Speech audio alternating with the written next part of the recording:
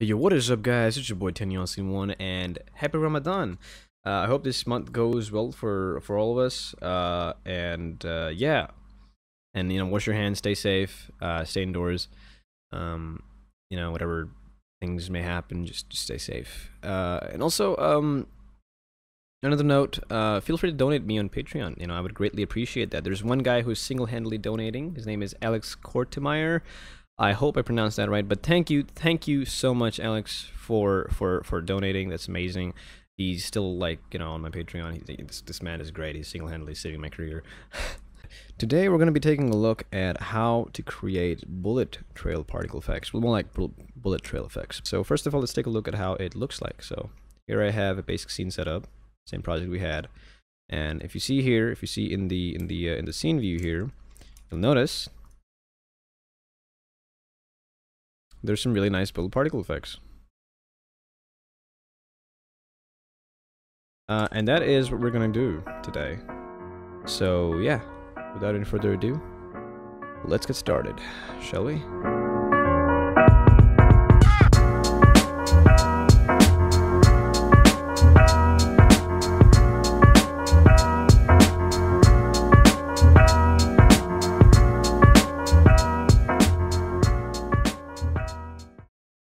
So here we have a little basic bullet trail. What it is, is it uses the line renderer component uh, to create, uh, as it says, a line. So if I put it in the scene here, you can see, it doesn't do much here. Um, it has some values in the inspector view, which we have uh, two positions. So we have two positions. We have a starting position. We have an ending position. You can make more complex shapes with this if you want, if you had more positions. And then it has a basic material, which is really just something that I took out of the um, uh, particles uh, particle systems that you get as a standard asset package. I will be including this uh, in in a whole package, including with the textures and the materials and everything. Uh, and then finally, it has something called line fade. So if you take a take a look at this, this is a very basic component. What it does is on the update method, not the most efficient, I know, but all it does is it goes on and it lerps it. So basically, it takes the color value. That's all for the line fade component. Now moving on to the weapon component. This is supposed to be, you know, public line renderer, bullet trail, you already saw that.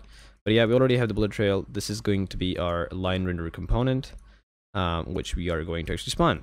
We're going to go to our fire method, and this is where we're actually going to spawn this. We can create a method to keep the things uh, nice and clean, so we can keep this separate. So we can just call this private void uh, spawn bullet trail uh, in the if statement of the raycast. So if we hit something, then we're going to spawn this. Uh, technically, you can make it spawn uh, if you don't hit anything as well we're going to first of all spawn it. So game object uh, bullet trail effect equals instantiate. And we're going to instantiate the bullet, which was bullet trail. That game object. And then the position is going to be, uh, we need two points, starting and ending point position. So if you spawn this right now, it's going to be uh, at the origin no matter where its actual position is. Uh, but yeah. Line renderer which is uh, we're gonna call this uh, line renderer for the sake of, or line R. I don't know for the sake of you know variable naming. This is not a good name. Please read clean code if you can. That will definitely give you a better idea how to name variables. Bullet trail effect dot get component line renderer. So that's just going to fetch the component from it, and then we're gonna say set position set position. Uh, zero, so the zero, the, the first position we said, the first position is going to be our shoot point dot position so where the gun's shoot point is. And the second position is going to be our uh, actual hit position. So here's what we need to do. We need to actually give it some sort of variable. So I'm not sure if you've done these. Have you done this before? We haven't. So basically methods can also have uh, uh, um, parameters that they can take in. In this case, this method is going to take in a parameter of vector 3, um, which is going to be uh, a hit position, or rather a hit point.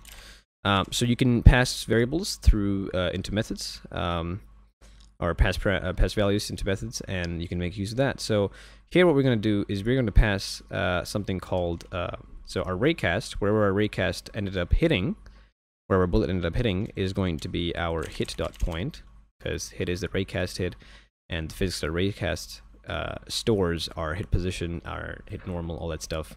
So we're going to pass in the point which we just hit, and then we're going to make use of this point, and we're going to set this as our second position.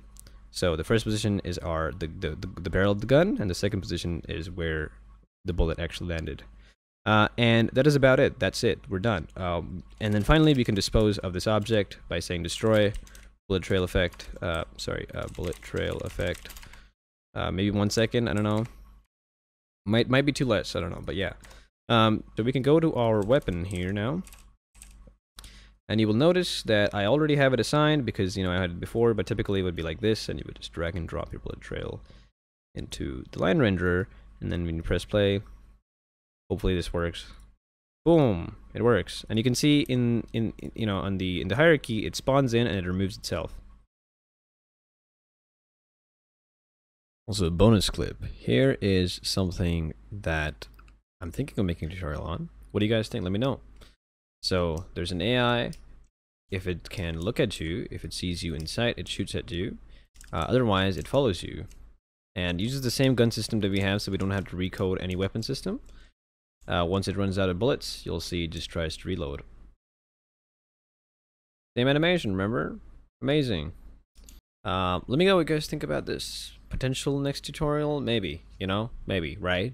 That's about this, uh, it for this video. Um, that was a really short tutorial.